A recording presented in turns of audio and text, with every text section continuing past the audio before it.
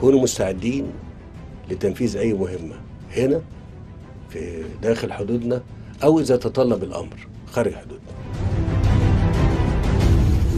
رغم الترحيب والتأييد من القوة الليبية المعتدلة والأطراف الإقليمية والدولية إلا أن سيطرة القوى الخارجية الداعمة بقوة للميليشيات المتطرفة والمرتزقة على قرار أحد أطراف النزاع لم تسمح بوضع قرار وقف إطلاق النار موقع التنفيذ وإنما دفعت لمواصلة خرق القرارات الدولية وانتهاك سيادة الدولة الليبية بنقل السلاح والمرتزقة.